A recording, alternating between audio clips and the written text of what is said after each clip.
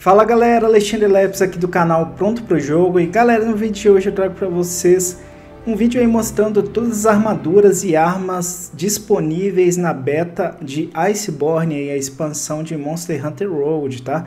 Vou mostrar também a armadura do Amigato, sei que tem muita gente aí que não teve acesso, né? A galera do Xbox One, a galera do PC e que também estão curiosos aí com novas informações da expansão.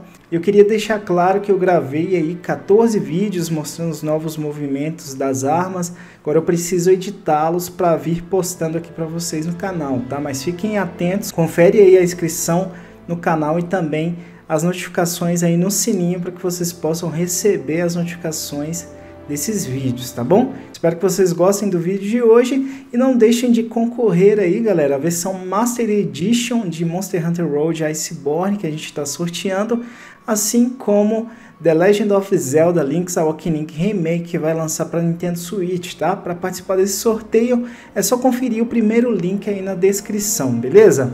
Dito isso, então vamos lá conferir essas armaduras e armas disponíveis. Aqui a gente tem aquelas mais básicas que foram mostradas no trailer. Eu vou começar modificando o Amigato e depois a gente vê as demais armaduras, tá? Então vamos ver o Amigato, o que, que a gente tem aqui. Tem essa prancha, que ela tem contusão, elemento de gelo. Tem o óculos também, né? E ele fica nesse estilo aí, ó, parecendo que tá viajando aqueles locais de esqui e tudo mais, né? Todo estiloso o Amigato. Passar a próxima aqui. Já essa já é do Tigrex, né? Então ele tem uma arma de contusão, sem elemento. E aí o elmo do Tigrex, todo estiloso também, ó. O elmo e o, cap... e o peitoral Tigrex e uma espécie de martelo ali também, né? Que lembra o Tigrex. Então, do Amigato disponível na beta são esses aí. Agora a gente vai ver as armaduras de caça mesmo. Vou até remover a arma para que a gente possa ver a parte de trás também. Então essa é a do Loborrendo, tá? Imagino que seja uma armadura bem de início mesmo de gameplay, que a gente já consegue logo no início do game, no ferreiro. E a próxima que a gente tem disponível é do Girros. Vamos colocar ela aqui. vocês derem uma olhada, ó. Ela tem um design muito bacana, lembra um assassino, né? Para quem já jogou Assassin's Creed, inclusive com a tiradeira e a prendedora aí no braço, ó, o estilo de um assassino mesmo. Ela tem perícia de ferramentas, comer rapidamente, reforço de ataque, nenhuma skill ali nova. E aqui você pode ver ela de outro ângulo, tá? Então vamos passar para a próxima. Aqui acredito que é do Bia Todos. As skills também não tem nenhuma skill nova. O design dela é mais brilhante, né? Como se tivesse pegado ali da pele do monstro. O capacete tem um, o, chifre dele, né? Lembra bastante o chifre dele. Tem uma faca na parte de trás, bem interessante, com uma bainha, né? Bacana.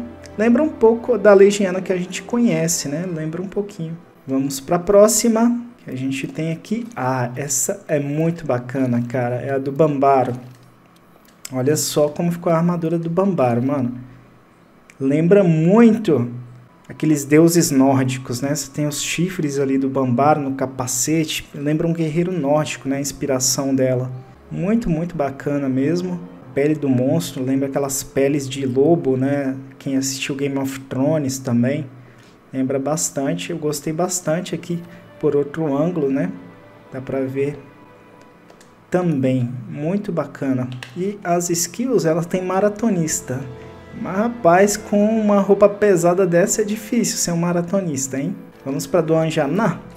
Anjana Plus tá aí. Ele lembra mais um um caçador selvagem, né? Você vê ali, ó, parte dos pés, vê também no capacete, né? Meio que o cabelo solto e tal. Solta lembra bastante aquelas tribos selvagens um Hunter selvagem aí bacana também. Eles mostraram bastante Anjaná. Vocês vão notar que tem algumas armas do Anjaná. Acredito que é até para não dar tanto spoiler, porque é um monstro já conhecido, tá? Imagino que é a armadura do Master Rank aí. Então vamos agora para da Legiana, que é a última armadura. Tá aqui. Acredito que já é a armadura daquela nova Legiana, né? Que a gente viu no trailer. Ela mais metálica, brilhante lembra ainda a original também, porém ela tá com os detalhes mais brilhantes, mais metálicos, um pouco diferente aí, né? Vamos ver por outro ângulo. Tá aí. Bem interessante também a armadura da Legiana. Essa aqui, ela tem alguma skill diferente? Não, né? Amuleto, a gente tem esse amuleto novo aqui, mobilidade aquática polar, né? Então, para andar cima da água, isso é um bom sinal. Pode ter mais cenários com água aí, tá? Fiquem ligados nisso. Uh, e também para andar em cima do gelo.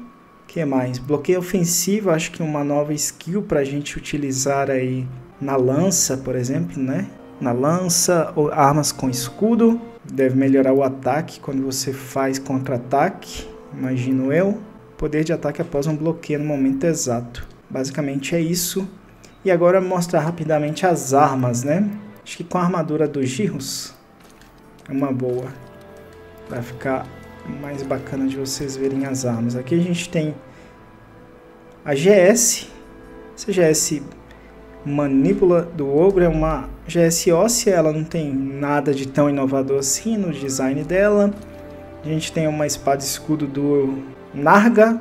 Não dá pra ver muita coisa também. Deve ter algumas armas do Narga Kuga mais interessantes na versão final.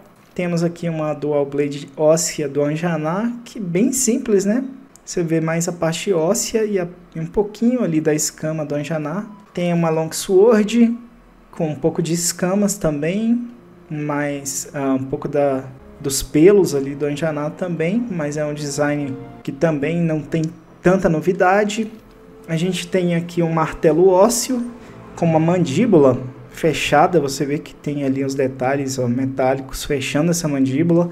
Temos um hunting horn de elemento de fogo aqui com fiação branca, ele é baseado no Anjana também. Tem uma caveirona ali na parte de cima, a pelagem ali do, do Anjana temos uma lança baseada no Dodogama, eu acho, né? Dodogama Plus aí. Uma lança bem bonita, com a, misturada com rosa e azul, né? As cores do Dodogama. Temos uma Gunlance baseada no Jagras, já tem um design bem parecido com o que a gente conhece. Aqui tem um transmachado que me lembra pelo menos a pelagem aí do, do Bambaro, né? Acredito que é ele, ou então pode ser daqueles monstrinhos, os popos lá da vida que fica no meio do mapa, mas deve ser o Bambaro mesmo. Temos aqui uma Charge Blade de minerais, né? Ela não tem um design. Ela tem um design diferente, mas ela não lembra nenhum monstro, ela parece ser da árvore de minerais. Temos aqui também uma Insect Glaive da árvore de minerais. Temos aqui uma Insect Glaive já da árvore óssea cajado de selo dragão, tem uma pontinha verde ali. O arco, não vi nada demais nesse arco, achei ele bem simples. E as Light Bow Guns, essa aqui também parece ser uma mais básica. Essa aqui até lembra, né? Tem a pelagem lá do que acredito ser o Bambar, tá? Destruidor Perito, que é uma Heavy Bow Gun azul. Não sei se ela, não sei em quem ela vai ser baseada pela cor ali. Tem umas escamas diferentes, mas não sei. Detonador de cartilagem é uma Heavy Gun óssea também, tá? Então, é mais detalhes das armas, dos movimentos, eu vou falar nesse outro vídeo que a gente gravou sobre os movimentos novos das armas. Aqui é mais para mostrar para vocês alguns detalhes de design mesmo das armas, do que, que a gente já viu. Eu gostei bastante das armaduras, né, que eu vi até então. As armas, ah, algumas estão um pouco simples ainda, né? Mas eu acredito que é armas também de início de jogo, não tem muita coisa ainda que eles estão meio que evitando spoiler, né? Mostrar armas dos novos monstros, até para não dar spoiler de que monstros novos a gente vai ter, mas já é bem bacana pro que é o propósito da beta, tá bom? Então é isso, galera, um vídeo aí para trazer essas informações para vocês, para quem está curioso, para quem não teve acesso à beta e queria ver como é que tá ficando. É isso aí. Deixem nos comentários o que vocês acharam, se vocês gostaram do que viram. Se gostou do vídeo também, dá um like aí para fortalecer aqui no YouTube. E é isso, para continuar acompanhando o conteúdo de Monster Hunter Road, dá um confere aí se você está inscrito no canal e também confere o sininho para receber a notificação de novos vídeos. Eu vou ficando por aqui, espero ver vocês nos próximos vídeos. Um forte abraço, valeu e fui!